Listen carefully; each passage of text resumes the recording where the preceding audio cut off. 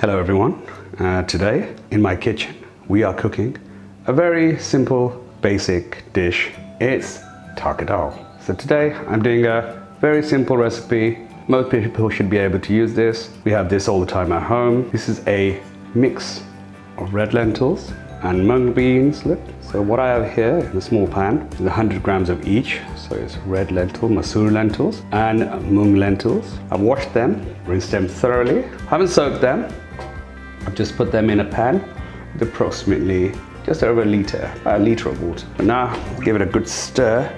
I'm gonna cook this on full power. So we're gonna just get it to, I don't add too much water in there. So two, adding teaspoon of turmeric, a bit of color. I've got here some chopped garlic, two cloves. I've got here is a nice green chili. And here we have, I'd say a medium large size onion, just chopped roughly. And then you want about, about just about, I would say, less than a teaspoon, level teaspoon salt. We put a little bit less in now and add a bit later. All we're gonna do is cook this down until the onions are very soft. You want the lentils to break down. This is gonna be a smooth lentil tarka dal. And the tarka, we're going to use some garlic and a few whole spices. But this is gonna take about, what, 20 minutes, half an hour. Increase the heat, full whack, and just keep cooking away. If the water reduces, just add a bit more water to it until it breaks down. And that's how simple it is to start your tarka dal. As you can see, the uh, dal's been boiling very nicely. Look at that, it's breaking down. You can see that. It's getting mushy and that's what we want. Uh, that's been for about 15 minutes or so. Because I haven't put too much water in. You can add a bit more water later if you want thinner dal, thinner soup. Some people like that. If you want thicker dal, reduce it down a bit more. But I like it in between. Uh, look at the onions, everything is breaking down. So I don't want to bore you too much with watching dal boil, but just want to show you how it should look. And the mung dal always takes a bit longer to cook, it's a bit more nuttier. Well, the red lentils, they cook through very quick. Now you can just, I wouldn't put a lid on there, put a lid halfway so it doesn't splatter too much. Put it like this, so halfway there.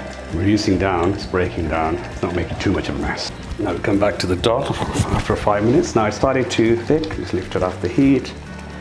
It's sticking a little bit at the bottom, so what I'm going to do is just add a touch of warm water to that, you can see. Stop sticking. Now I'm going to break down nicely. Give another 10 minutes. If you do it in a pressure cooker, you can put this in a pressure cooker and within three, four whistles it's done or within 10 minutes in an Instapot.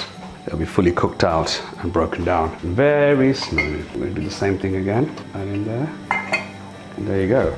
So now that's been cooking away. Can you see it's changing? That's what I'm looking for now. Reduce the heat now. Now you can add more water, make it runnier now. We'll switch the heat off for a second because I think I've cooked.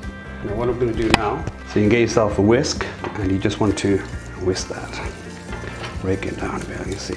Again, it's too thick, like I'm seeing now, it's fairly thick, so I might add a bit more water to it. Just cook and boil it for a couple more minutes before we do the tarka.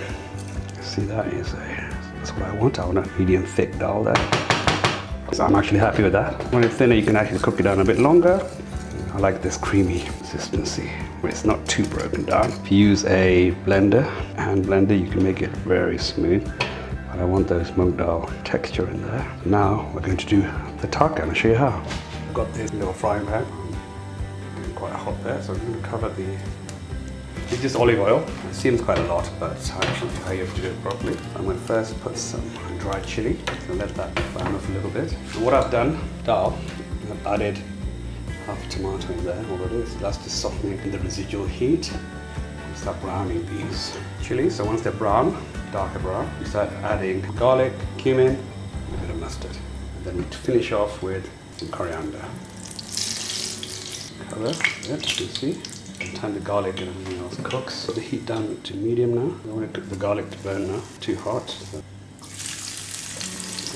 Quick, garlic, cumin, everything like that. You take it out of there. Start putting everything. This way, you just get just that light brown.